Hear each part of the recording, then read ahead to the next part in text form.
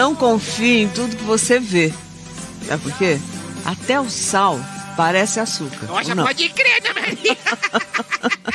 Eu fiquei curiosa em conhecer a descendente direta de Maria Bonita e Lampião. E é com muita honra que eu recebo, e você na sua casa também, Expedita Ferreira. Ela viajou de Aracaju até aqui com seu cachorrinho inseparável, o Bento, que eu fiquei apaixonada de conhecer agora.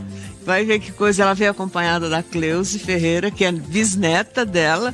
Bom dia, bem-vindas! Aê, bem-vindas! Ah, Oh, coisa boa! Nossa Senhora, que abraço bom! Deus me ajude, me dá a felicidade de te abraçar. Eu estava te admirando, a sua história, você na avenida. E aí acho que você despertou uma curiosidade no povo todo para saber quem é essa mulher. Porque até então força. a gente sabia que eu não existia. Pois é, então eu falei, gente, que honra. Aí eu falei, mas será que ela vem tomar café com a gente? E ela aceitou. Olha que legal. Muito obrigada. Nada, viu? um prazer enorme estar com você. Creuze, prazer, viu? Linda. obrigada. Bisneta linda, hein? Sou neta dela. É, neta? Neta. Bisneta de Neta. Maria de Bonita. Maria Bonita. Bisneta de Maria E Bonita. tataraneta. E, e esse é tataraneta. Ó o Bento, que coisa mais fofa do Posso mundo! pegar Pode. Ó. Pode, ele é O. Bentinho, olha. Pronto. Gente, olha o que é isso aqui. É um chihuahua que tem um ano e quatro meses. Parece que nasceu anteontem, né? Ah, Mas, ó, e a língua não cabe na boca, e aí o corpo. a linguinha fica de lado de fora. Ele veio de gravata, Ana Maria! né? Vem, vem de gravata, tá todo chique. Vamos sentar? Vamos. Pra tomar café? Eba! Bem-vinda, dona Expedita Cleusi! obrigada. Que honra! Aquele é o meu papagaio, Ali é o louro mané. o louro mané. É, muito É meu bem. neto. É, É, você tem bisneto cachorro, eu tenho eu neto perguntei ele. disse, papagaio. É o louro José também? Não, eu leio de mané. É, o- esse é o louro mané, que é filho do louro José. Vamos eu sentar. aqui, deixa eu- Peraí, deixa eu puxar Ei, dona. Expedita, sinta-se em casa, a Cleusi também, casa de vocês. Obrigada. Rapaz do céu, me conta uma coisa. Deixa ela sentar primeiro antes de começar a eu perguntar. frente? Eu tô cheia de perguntas aqui. Foi? Tá bom. Pronto. É, essa mesa aqui, inclusive, a gente fez é, com todas as tradições né, nordestinas. É. Tem o nosso famoso bolo de rolo, né, que é uma Olha. delícia, né? Cuscuz. É, e aí espero que a senhora é, aproveite. Não deve ser de comer muito, porque ela é magrinha, né? Não, não sou de comer muito. Come um pouquinho? mesmo, não. É. Mas eu queria dizer que eu tô assim encantada mesmo com a senhora. Eu Obrigado, entrei aqui, eu não a conhecia, Eu a vi agora. Pra conhecer. E aí, a senhora tem um olhar de menina. é, é, é uma expressão, não é? É. É uma expressão de curiosidade. 90. No- pois é. 90 Mas, é uma, mas olha, mas só tem uma alma e um olhar de menina. É E eu acho que é isso que dá disposição, né, para a senhora olhar a vida. Deve ter passado por muita coisa mulher. nessa vida, mas Muita coisa mesmo. a senhora ainda tem muita curiosidade de viver e de ver as coisas acontecerem ao seu redor. Como é que é, é, quando a senhora recebe um convite como esse que a senhora recebeu? De dois desfiles de carnaval, quer dizer, não é um desfile de moda, que você vai lá, entra na passarela e sai. Não. É, é um, é um negócio exaustivo. Fiquei satisfeita. Aceitei Na hora. na hora. Não foi? Foi. Por Na intermédio hora. dela. Ela que arranja essas coisas, viu? Ela que arranja. Bota a culpa toda na Cleusi, ah, meu Deus. Sou eu, Eu culpada. só, só digo a ela que se ela não me arranje, Pois. é a entrevista de manhã cedo. É. Sete horas da manhã, oito horas da manhã, que nada, eu quero dormir meu sono até meio-dia. Quando os pratos batem na mesa que eu tô acordando. Mas olha só, então hoje é um, é um, é um exagero a senhora Ah, estar mas aqui esse bom. horário. Hoje foi bom que eu me acordei, foi cedo. Hoje ela acordou cedo. É? É, pra vir. Era pra Tava vir. animada. Pra vir, porque eu tinha loucura pra lhe conhecer. Olha, gente, ó, curioso, que curioso. Maria Bonita nasceu, quer dizer, a mãe dela nasceu em 8 de março de amanhã, 1911. Data em que a gente comemora o Dia Internacional da, Mulher. Mulher. Se ela tivesse viva, Amanhã ela completaria 112 anos, né? E ela veio ao mundo com o nome de Maria Gomes de Oliveira, ficou conhecido como Maria da Deia, É. e depois de morta, ela que entrou na história como Maria Bonita, né? É, e eu começo esse papo aqui perguntando, né? A sua mãe é, nunca teve tão em alta, né? Na, na história, quer dizer, você que conhece a sua mãe desde que você nasceu, ela nunca teve, a história dela nunca teve tão em alta quanto nesse momento, né? Não, Porque no começo não foi fácil. foi muito difícil. Como é que foi? Para mim foi triste.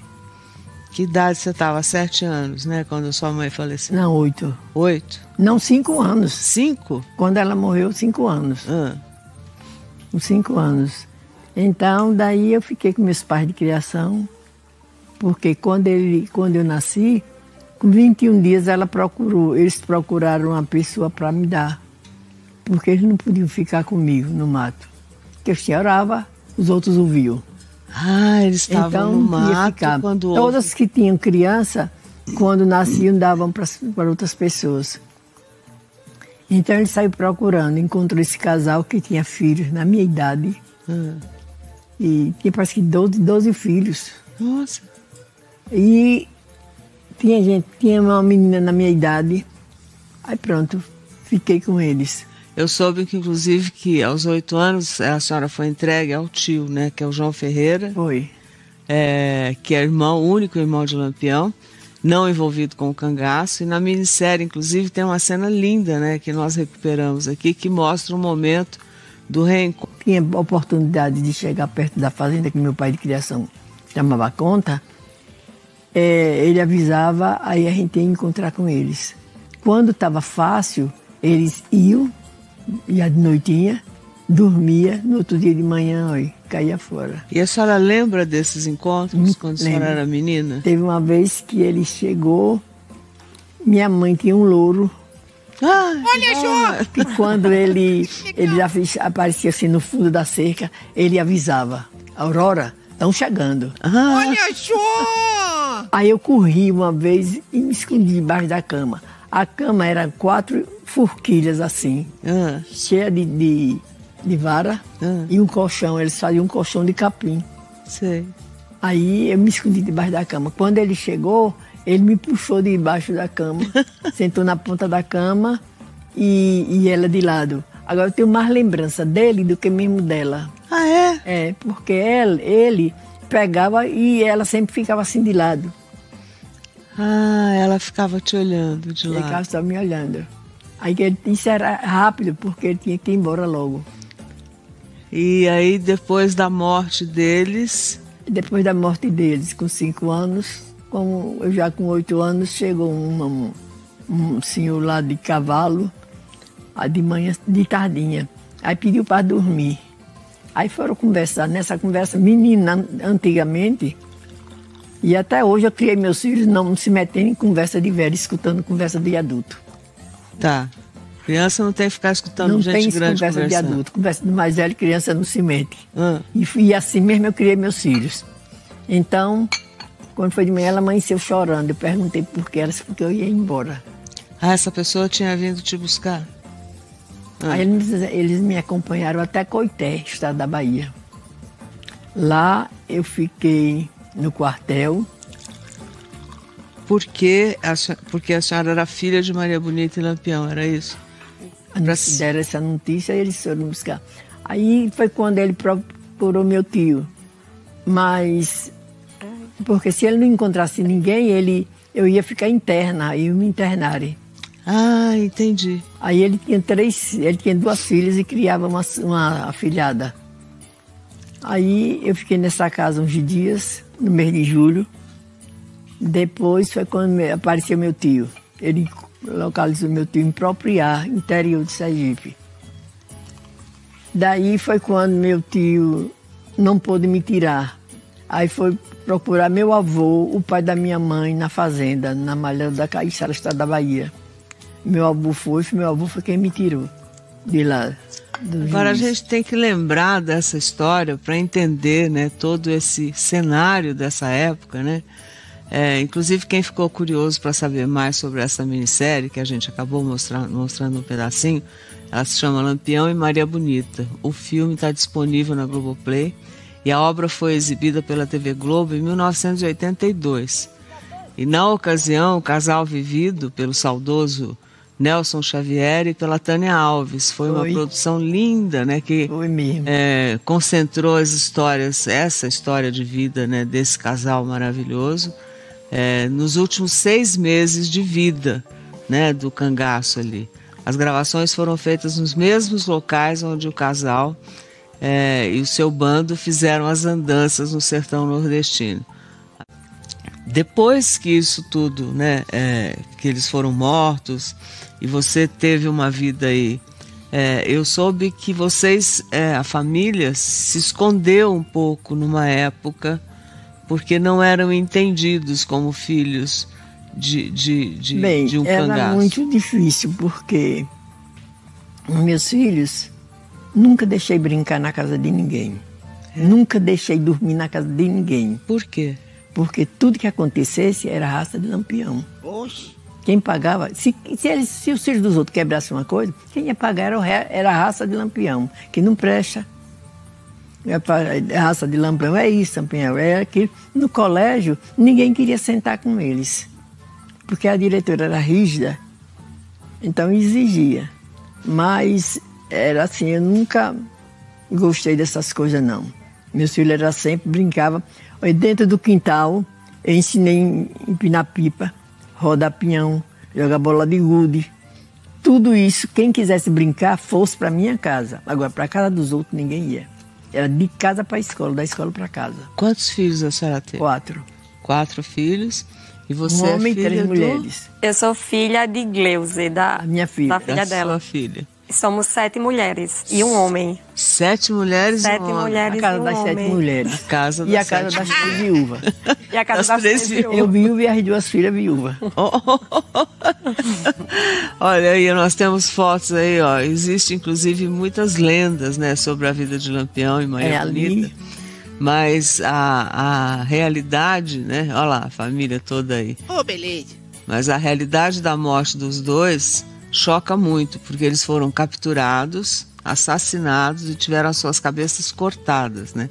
Nós temos imagem de onde tudo aconteceu e de onde veio a pedra que ele guardava, né? Porque ele disse que ele guardava uma pedra, é, a Grota do Angico, né? Angico, sim. que fica no sertão do Sergipe. Na verdade, esse texto aí que botaram para mim é de Ariano Suassuna. O Ariano Suassuna é, fez um depoimento que a gente não pôde mostrar aqui, é, mas ele tinha uma pedra e ele disse que teve lá. Ele era um grande admirador de Maria Bonita e Era. Lampião. E ele disse que tinha uma. Eu vi esse vídeo dele, ele dizendo que tinha uma pedra, é, de, que de um lado era sangue de Maria Bonita e do outro lado era sangue de Lampião. E que, como ele era poeta, ele não tinha nenhuma responsabilidade com a verdade, então ele podia mentir à vontade.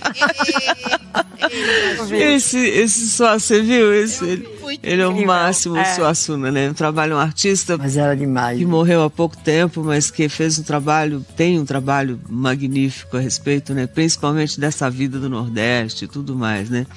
E no sertão lá de Sergipe, a 200 quilômetros da capital Aracaju, foi onde aconteceu. E o local hoje em dia é visitado por turistas o ano inteiro. E na placa que vocês viram ali, a gente vê o nome de Maria Bonita e Lampião e dos companheiros de bando que morreram com eles ali em 1938.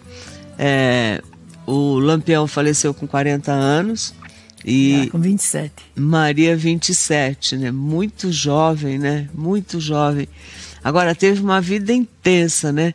Você, é, por acaso na história, enfim, das pessoas da sua família que você conviveu e tudo mais, é, tem uma explicação para esse amor assim tão avassalador que foi do Lampião, que me parece passou pela fazenda onde a sua mãe Foi ela morava, pediu, ele passou pela fazenda e pediu para bordar um lenço. bordar um lenço. E ela bordou o lenço. Ah. Quando ela voltou, ficou se olhando para ele. Quando, ela, quando ele foi pegar o lenço, ela disse que é mais ele. Olha. E foi. E foi. Pronto. E ela era casada. Era casada, era separado separada. dele, do Tinha marido. separado do marido? dele, tá? Ela estava em casa porque tinha se separado dele. Mas nessa época isso já era uma coisa do outro mundo, Ave né? Maria. Fala a verdade, não é? Era. Quer dizer, ela foi corajosa Foi. de todos Teve os lados. coragem. E aí, Ela não teve, o, que o que o outro não teve coragem, ela teve. Ele teve. Pronto, foi embora. na verdade, é, todos os anos a sua família visita o local, né? Que No eu dia sou, 38 de julho, no dia da morte deles. Dia 28. 28 de julho. a minha filha é, arruma tudo. É, tem vezes de quatro ônibus. O Vai hotel de, do Ney, lá em, em Piranhas, fica lotado. Quando ela foi a primeira vez acertar para ficar nesse hotel, ele só tinha uma pá, só tinha um hotel.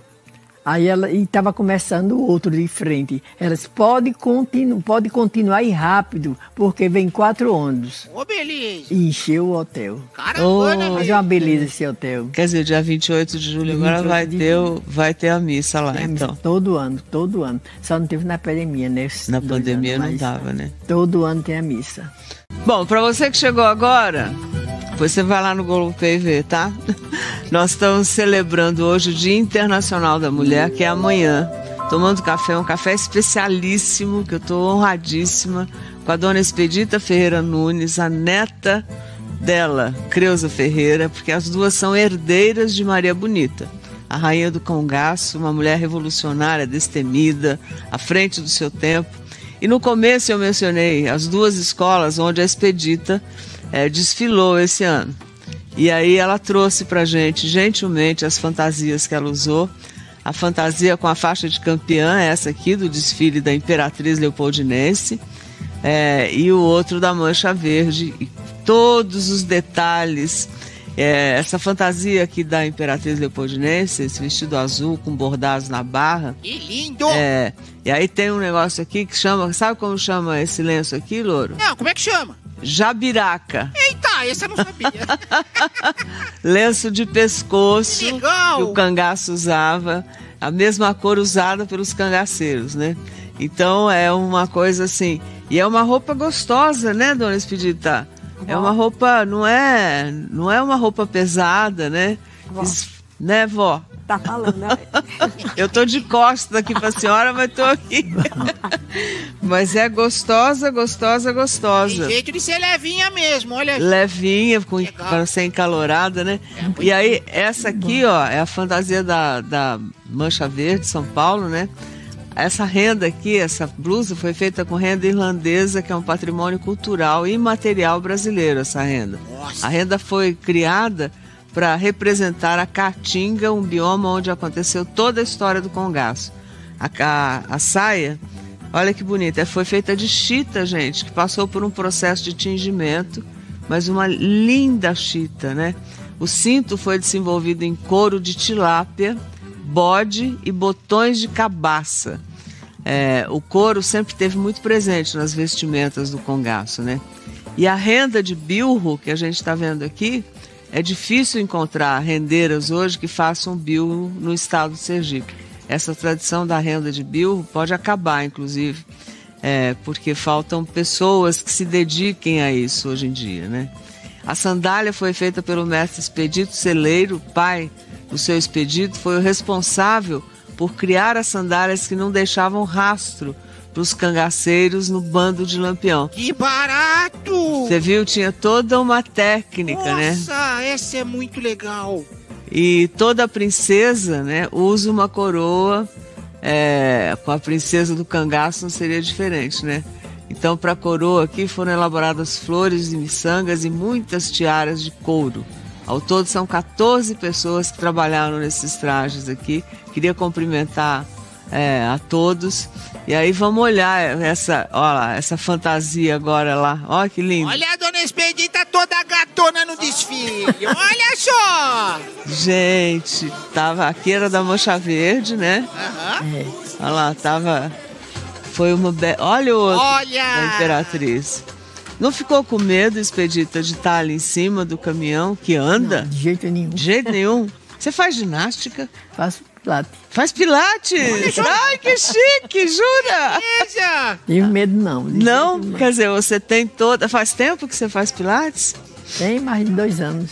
Dois anos já movimentando toda a musculatura e se sentiu segura para estar ali em cima do. né? Porque não é todo mundo que É. tem equilíbrio, porque o avião. O, o avião, o, caminhão.